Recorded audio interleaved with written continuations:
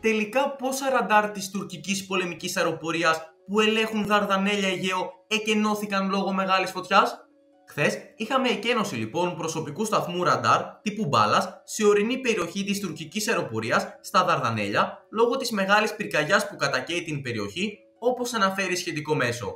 Σήμερα αναφέρθηκε η κένωση θέσεων ραντάρ αεροπορίας στα Δαρδανέλια, αφού η Τουρκία διαθέτει αρκετά ραντάρ σε πολλά σημεία των στενών, τα οποία διευθύνονται από δύο κέντρα, το Κάβατζικ του Βοσπόρου και το Ασμαλίτεπε των Δαρδανελίων. Η κυκλοφορία στα στενά ελέγχεται με ραντάρ επιφανείας, ενώ η εναέρια κυκλοφορία από ραντάρ άλλου τύπου.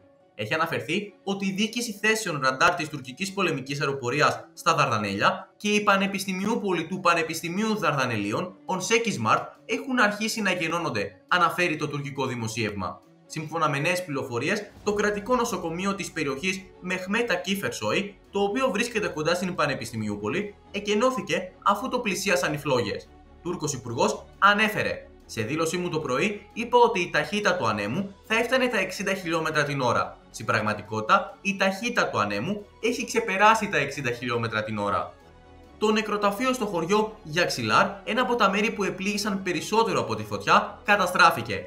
Ανεστάλλει για δεύτερη ημέρα η κυκλοφορία των πλοίων στα στενά των Δαρδανελίων στην βορειοδυτική Τουρκία εξαιτίας δραστική πυρκαγιάς που έχει επεκταθεί σε έκταση 15.000 στρεμμάτων στην επαρχία Δαρδανελίων, ανέφερε ο Τούρκος Υπουργός Γεωργίας και Δασών. Περίπου 1.251 πολίτε από 10 χωριά απομακρύθηκαν από την περιοχή, ανακοίνωσε ο κυβερνήτης της επαρχίας. Αυτό ήταν το βίντεο. Αν σ' άρεσε, μπορείτε να κάνετε εγγραφή στο κανάλι για να λαμβάνετε ειδοποίηση για κάθε νέο. Μην ξεχνάτε να μας κάνετε σχόλια με την άποψή σας.